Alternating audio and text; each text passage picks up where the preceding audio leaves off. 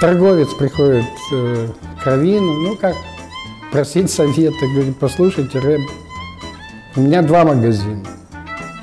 В одном я торгую едой, а в другом трикотажем. И что стало с этим миром? Он говорит, «Э, что такое? Он говорит, уже три месяца. Ну, если все нормально, если мир жив, так сказать, люди приходят за едой, да?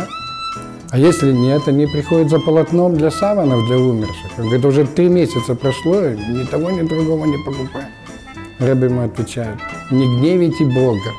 Мир не умер, но и не жив. Он мучается.